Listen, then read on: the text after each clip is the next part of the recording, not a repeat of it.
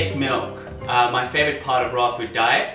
It's a very easy thing to do. Just going to quickly show you how to do it. Um, it's nice to soak your nuts. Basically, you can do this. You can make basically uh, milk out of any kind of nut, whether it's cashews, almonds, hazelnuts, pecans. Um, I soak it not because to activate the enzymes, but purely because so it could break down nicely for me and to have you know to be nicely uh, hydrated.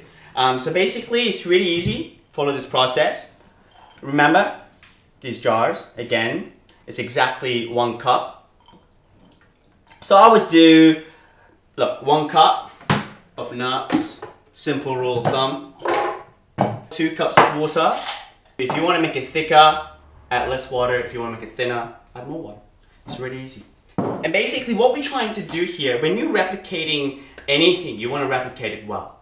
And basically that what that means is that we want to uh, make sure that we replicate uh, what milk usually tastes like. And milk has quite a few different types of elements such as that sort of uh, that sweetness. It's got the saltiness. But to get that right and to make it quite nice and pleasant, it's uh, I'm going to add some vanilla beans. Vanilla, just simply scrape the vanilla beans here with the back of the knife so you don't damage the beans itself because you could use it for other things and it just scrapes easier and it doesn't break the beans in half because of the, if you use the blade part, that's what would happen. Easy. Basically, the one vanilla bean, pinch of Balinese sea salt or any other sea salt that you've got, a couple of bit, pinches in there. I like it. I'm a, I have a salty palate. And basically, that's it. What I'm going to do is add a little bit of light agave in here. That's it. I am replicating what real milk tastes like. And basically here I've got a Vitamix. It's easy to use. Uh, any blender would do the job or good uh, high-speed blender. Vitamix, Sunbeam is another good one that you can pick up quite nice and cheaply. And basically I'm just going to blend this so it's nice and smooth.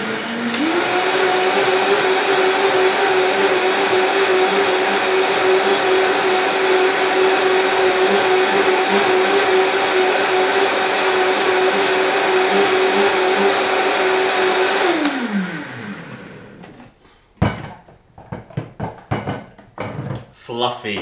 That's how you want it. Nice and aerated. Now the thing with um, cashew is that you don't need to put it through a nut milk bag because it doesn't have any pulp. Not like hazelnuts or almonds. But I'm just going to show you in case you are using almonds or hazelnuts. It's really easy. Basically a nut milk bag. You can also use a cheesecloth. As you can see, I have used this particular one quite often. And just pour it in there And the best way to wash these is to wash it immediately. Fill it up with water, put it back in the blender, waz it, done, cleaned. And basically that's what you would do. And you just squeeze it out through this. Don't be too hard, nice and gentle.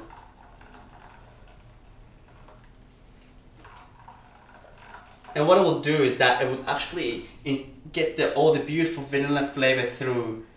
But what the nut milk bag will do is that it will stop the vanilla beans, the seeds to go through. So you could always add the beans, the seeds, once you've done this, which is easy. Basically that's it, you do that. Now another thing that I would like to do is to show you how to kind of start being creative with your nut milk. Um, here I've got Lucuma, it's my one of my favorite superfoods. The flavor of this Lucuma is just beautiful. So what I'm gonna do is pour this back in here. Fluffy. And now I'm just going to add a tablespoon of Lucuma. Waz it up a bit more, not long.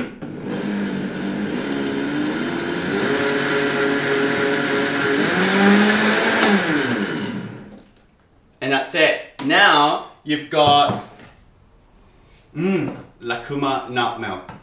Now, you can take this even further. Getting messy here. You can take this further by adding two tablespoons or one tablespoon of cacao, depending if you want it to be a sort of a, a milk chocolate or a dark chocolate drink. But here, you can make your nice cacao chocolate drink. One and a half tablespoons for me. And then I'm going to add a little bit of this infused saffron agave that we did in our last couple of videos. I'm put a bit of that. And that's it. And what I'm going to do, now the trick with this is, if you want it to be warm, you basically go on high speed for about two minutes.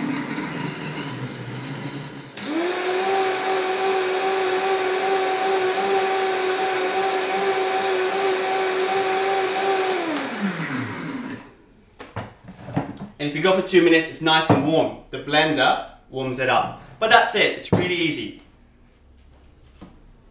You could get up in the morning and you could have your fix. Whether it's just nut milk, super nut milk, or hot chocolate. Basically, a nice bottle of goodness.